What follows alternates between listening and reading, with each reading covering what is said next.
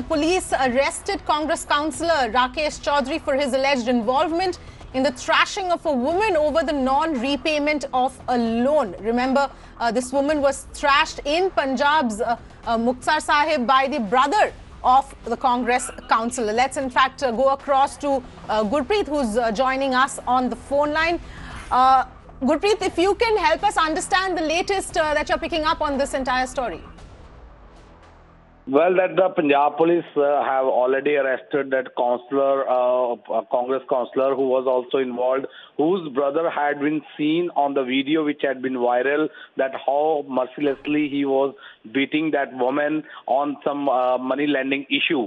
So after that, even the Punjab chief minister, he has given direction and tweeted that no one uh, has right to uh, go for violence and no one is above the law. And after that, the police jumped into action. They swung into action and they had arrested the Congress councillor into this case and the investigation is going on further. But the question is this thing, why the police had taken so much time to nab this politician, why they were waiting a green signal from the Chief Minister of Punjab that he should give a green signal for arresting the councillor, uh, uh, that Congress councillor. So all these things are still, uh, all these things are still creating questions and raising questions over the police functioning in Punjab. Absolutely, Gurpreet. In fact, like you pointed out, there's several questions here that still need to be answered. Uh, can you shed any more light on how this investigation is now progressing?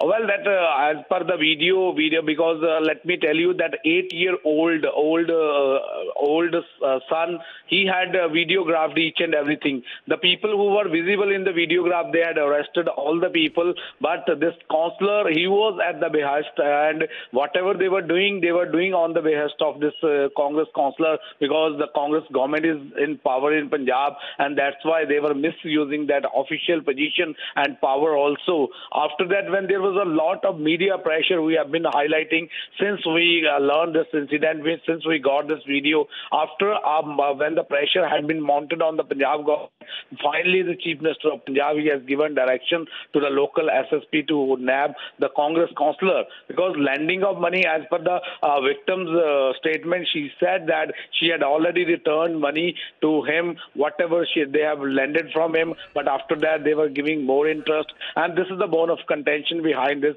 whole assault. But if we, uh, everybody has seen that video, in the video they were beating mercilessly. They could have used some legal remedy for getting money if there was any dispute.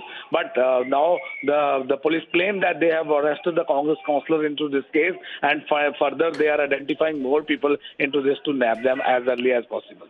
All right, uh, we'll leave it there. Thanks, Gurpreet, for getting us all those details.